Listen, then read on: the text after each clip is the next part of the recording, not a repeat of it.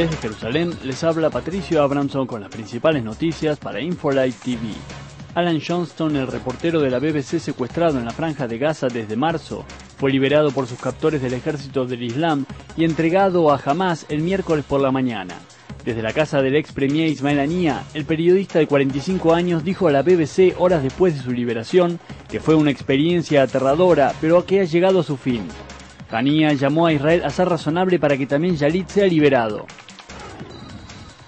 Es solo una cuestión de horas hasta que el presidente palestino Mahmoud Abbas y el líder de Hamas, Khaled Mayar, reanuden el diálogo, dijo el jefe de Estado Mayor de Israel, Gabi Ashkenazi, ante la Comisión de Defensa de Asuntos Exteriores el martes. Funcionarios de inteligencia dijeron que jamás deberá dialogar con Abbas si quiere renovar sus vínculos con los países vecinos. Familiares de los soldados israelíes secuestrados, Gilad Shalit, Ehud Goldwasser y Eldad Regev, viajarán el martes para reunirse con líderes políticos de Francia y Portugal. El grupo se reunirá, entre otros, con el presidente francés Nicolas Sarkozy y el canciller Bernard Kouchner. El ejército libanés y UNIFIL arrestaron a un grupo de terroristas que planeaba un ataque contra un buque de bandera alemana, según informó el periódico As-Safir. Según el informe, los detenidos se entrenaban en la costa norte, cerca del campamento de refugiados Naher al-Bared. Un grupo de padres palestinos ha iniciado una protesta en la franja de Gaza debido a que los campamentos infantiles de verano de Hamas son utilizados para entrenar a los niños en el manejo de armas y equipos militares. Las familias acusaron a Hamas de incitar la violencia entre los pequeños contra Fatah e Israel.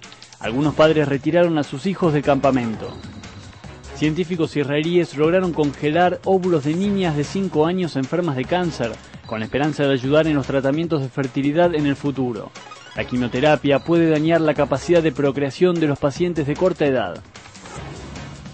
Además, en InfoLive TV, el gran debate sobre el rol de los medios de comunicación en la formación de la opinión pública palestina.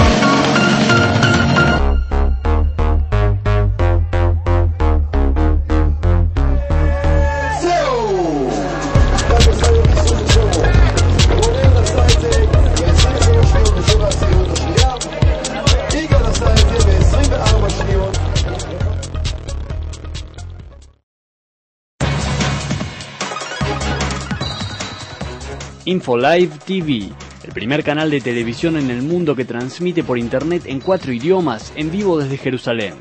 Para tener una mirada directa sobre Israel y el Medio Oriente, InfoLive TV se encuentra allí, en el corazón de la información, en el corazón de la historia, en el corazón de Israel. InfoLive TV.